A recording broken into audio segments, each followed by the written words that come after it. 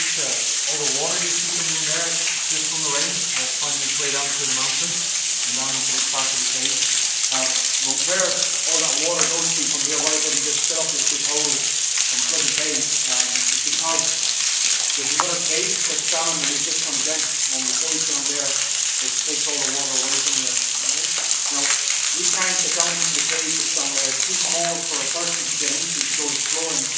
But we want something where all the water is going